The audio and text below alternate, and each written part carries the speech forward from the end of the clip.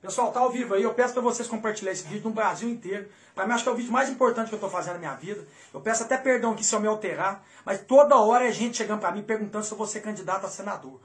Esse sistema nojento, covarde, nojento, tá querendo me boicotar, tá querendo me dar rasteira, e eu vou provar para vocês aqui o que está acontecendo comigo. Eu não estou vitimizando, eu vou provar para vocês. Primeiro eu vou começar com pesquisa, vocês terem noção como é que esse sistema ele é nojento, covarde. Vou mostrar para vocês aqui, vem cá para mostrar para vocês. Começar com pesquisa. Olha o que eles me colocaram na pesquisa aqui. Olha isso aqui, 2%.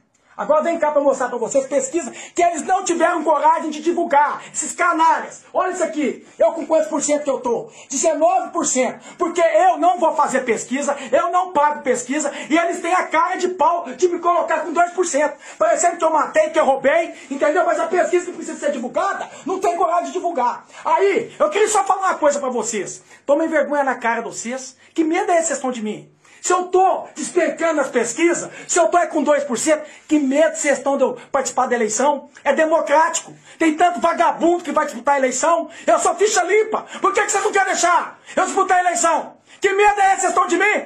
Que medo é esse? Eu vou provar para vocês, quer ver? Olha isso aqui. Vai acompanhando. Olha isso aqui. Site antagonista, um dos sites mais importantes tem no Brasil da política tirou do ar, mas eu printei, olha lá. Mas a tendência é que Cleitinho Azevedo dispute o cargo de deputado federal para servir de puxador de votos PC. Deixa eu falar uma coisa, antagonista. Quando eu tratei com presidente nacional, com presidente estadual, eu tratei que eu sou candidato a senador. Mas não pedi mais nada, não pedi fundo eleitoral, eu não pedi para mandar em partido, eu só pedi para ser candidato a senador. Se eu não sou candidato a senador, eu não serei nada! Tá entendendo? Para de mentir! E vocês da imprensa, com todo respeito que eu tenho em vocês, dê nome quem está levando essa informação para vocês. Dê nome quem está levando isso aí para vocês. Me procura. Vocês não teve coragem nem de me perguntar, nem de me ligar. Tem mais que a ver Itatiaia. Com todo respeito a Itatiaia, escuta. PSC que tem escuta. de não existir, porque o novo presidente nacional, que é o pastor Everaldo, que na verdade voltou à presidência, pode ser que não chancele o nome de Cleitinho e há a possibilidade de que ele não seja candidato. O pastor Everaldo agora, gente, quando eu fui para o partido, ele não estava no partido, o pastor Everaldo. Ele voltou para o partido. Né? Eu queria saber quem está procurando o pastor Everaldo. Porque eu acho que um pastor, um cristão como ele é, ele não vai fazer isso comigo. O partido PSC, um partido social cristão, que é um partido cristão, não vai fazer comigo. Eu queria saber da Itatiaia quem procurou o pastor Everaldo. Quem está atrás do pastor Everaldo? Quem que é esses concorrentes meus que está fazendo isso comigo?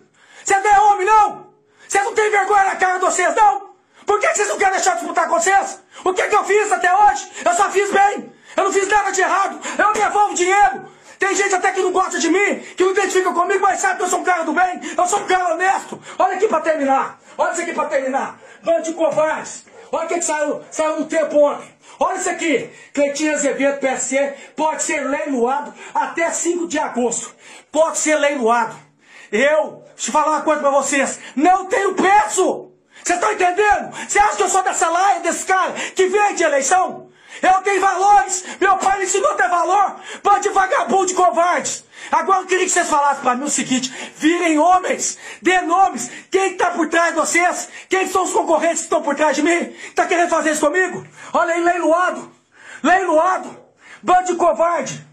Você acha que eu vou me vender? Você acha que eu tenho preço? Eu tenho valores. Eu vou ser candidato a senador só se eu não morrer. Entendeu? Bando de canalhas covardes. Dê nomes. Quem é vocês? Aparece. Aparece. Vai, vem, vem aqui, ó.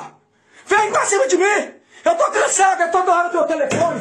Pega o telefone, Cleitinho, você é candidato a senador? Cleitinho, você perdeu a vaga. Toda hora mexendo o saco aqui. Você devia ter vergonha na cara. Eu vou finalizar aqui dizendo pra vocês o seguinte. Presta atenção. Já que eu não estou em última em pesquisa, eu não estou liderando, por que, que vocês não querem deixar eu ser candidato? Que medo é esse de eu ir para o Senado? O que, que tem de errado naquele Senado? Que medo é esse? Que poder é esse? Vocês estão com medo de mim? Por que vocês estão com medo de mim? Vem para cima de mim! Vem para cima! Vem para cima! Eu falei e vou falar. Davi ganhou uma vez e Davi vai ganhar de novo. Quem conhece a Bíblia sabe a história de Davi. Davi ganhou uma vez e vai ganhar de novo. Eu prometo isso pro povo mineiro. Eu vou pra cima de vocês. Eu só não sou candidato a senador se eu morrer. E eu não vou morrer. Eu mato vocês de raiva primeiro, viu? Tamo junto. Compartilha esse vídeo aí.